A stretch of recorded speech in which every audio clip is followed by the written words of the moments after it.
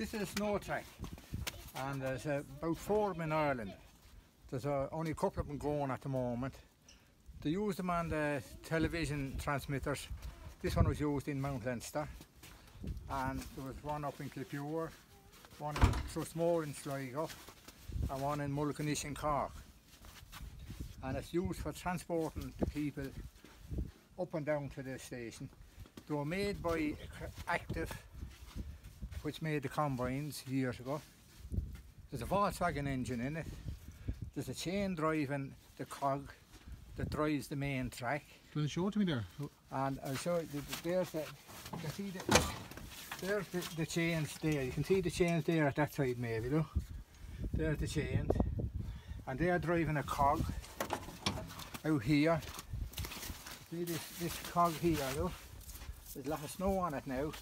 But that's the cog and it fits into this track. And it, and it, it, it drives the tracks up along that cog. And there's Oh. only four of them in the country.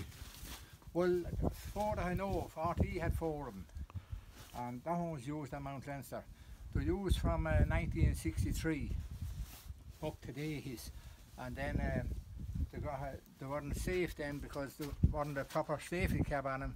They got rid of them. That's how I have that one. And it's an aluminium body, Jim. It's aluminium body, yeah, aluminium. But it's only made up by the active crowd, right? you know, and there's, there's no great design on it. And Active are the crowd who make the combines. They made the combines, yeah. Swedish company. Yeah. How's it? How's it to get parts off it? It's hard to get parts for it now, but uh, there was a place in Scotland where you could get parts, and they had um, you could get some of the parts made up. You know, the like of them cogs that's on the front there now, when they were, you could get them cut out on a pro liner. Yeah. And uh, the rest of it is only body work, like, you know, sheets and stuff, so Yeah. that's it.